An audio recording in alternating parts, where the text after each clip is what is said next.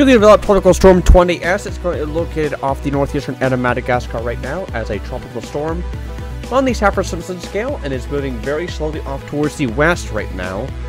Um, it's in fact probably not even moving at all in the latest few frames, so it is stalling to the northeast of Madagascar, bringing a very heavy rainfall threat to portions of the island. On the northern end, that is. Right now, it's got winds of 50 miles per hour, pressure at 996 millibars, and once again moving west right now at a solid 9 miles per hour per our latest estimates, although that movement has substantially probably slowed down, and it is forecast to not move very much in the next 12 to 24 hours. So here's where the storm is located right now, 12.7 degrees south, 50.8 degrees east is its current location. It's located 70 miles away from Vohemar, 116 from Sambava, 156 from Antalaha, 646 from St. Paul, and 680 from Port Louis. Those last two ones are on Mauritius and Reunion, and those distances are likely to close over the next few days as the storm is going to end up in those directions, and the day 5 forecast point is just to the northwest of those two islands. So if you are in Mauritius and Reunion, watch out for the storm. It is indeed heading in your direction. So already it's got a relatively circular wind field, has to be said. Uh, 75 nautical miles is its maximum extent on the northwestern side and 60 on the northeastern side. Thankfully, right now, no tropical cyclone-related watches or warnings are in effect, but I imagine that there's probably going to be some heavy rainfall watches or warnings or advisories of some sort in portions of northern Madagascar as the storm is uh, pretty dang close and it's already dropping heavy amounts of rainfall over those uh, the island nation of Madagascar, in particular the northern end of it. So as a result, here's what we're seeing right now with the main threats for the storm right now. It hasn't got the name just yet, but it, I imagine it will be pretty shortly by uh, Meteo France, that is. But the heavy rainfall threat is the main hazard with this storm. We could be seeing up to 450 millimeters of rainfall along the immediate portions of the coastline of Madagascar, in particular the eastern and northeastern sides, as the storm uh, stalls and then pushes out towards the southeast. It's a bit unclear on how strong the winds will get along the coastline of Madagascar. You'll see in just a second how close the storm is forecast to get. It's forecast to get pretty dang close to the coastline. And uh, any impact in Rodrigues and Mauritius later down the line at this point are uncertain, although residents are strongly advised to watch the storm very closely as a significant hit for either Reunion or Mauritius, or a close pass in between the islands is entirely possible. So here's our latest forecast, not moving very much initially, but then it starts to gain intensity quite quickly here. You'll see that we do forecast quite a substantial intensity as it moves away from Mauritius here, uh, not Mauritius, Madagascar. Category 3 on the Saffir-Simpson scale, this is a medium confidence forecast on both location and track and intensity. So it's a bit of a question mark of um, does land interaction help out the storm or does it hinder it? And there are some environmental issues that need to be worked out as well. So here's the latest Storm Typhoon Warning Center forecast cone. It's interesting to point out that they are forecasting a 110 miles per hour peak but I'm a bit concerned at how fast they weaken the storm. They have it down to 70 miles per hour at day 5. Although, that's interesting because conditions do support a much stronger storm at day 5 and computer models do suggest that this storm will be much stronger at the day 5 point and as a result, I think that their, for, their day 5 forecast at this point is too low. So here's what we're seeing right now on the satellite estimates. Of course, the JTWC is down at 40 miles per hour. A ASCAT passed around 18Z earlier today got winds of around 40 to 45 miles per hour when you counter for undersampling by the uh, instrument. Um, typically what you do is you see that it got 40 miles per hour winds and you add on 5 miles per hour to that, or 5 knots as we like to say it. And that's where we got 45 miles per hour. And just based on improvements since then, that's where I got the 50 mile per hour estimate. And that's our estimate right now. So here is the latest GFS model run, and you can see that over the next 5 days, you can see just how far beyond that day 5 point is compared to the latest storm typhoon warning center forecast run. So does the storm speed up a little bit more than forecast? That is entirely possible.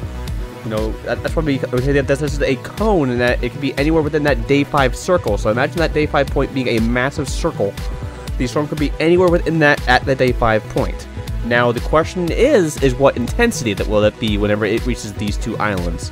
It could be anywhere from, as the Joint Typhoon Warning Center is forecasting, a mid-tropical storm, or it could be potentially even a Category 3 or Category 4 if all things go go quickly for the storm. So this could be a pretty significant impact for these regions, especially if the storm stays farther offshore. You can see that the GFS keeps the bulk of this core of the storm offshore, and that would uh, help it intensify even further.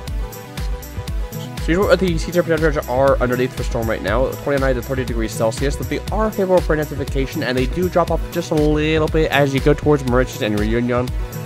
But they are still going to remain favorable for the storm to intensify as it heads towards those island nations. Um, not going to be an issue at all for the storm, really, to be honest. Um, not really going to be seeing sea temperatures inhibit the storm very much over the next few days. The surface observation maps, thankfully, aren't really suggesting very much to yet, but we'll have to watch those observation areas on Mauritius and Reunion later on the line for potential impacts in those areas, and that position on the east coast of Madagascar. What kind of wind gusts does it get in these in the storm's outer bands? We'll have to wait and see, though. It's not getting impacted by any sort of outer bands just yet. Um, it's very close to one, has to be said, uh, in, in recent frame, on the imagery.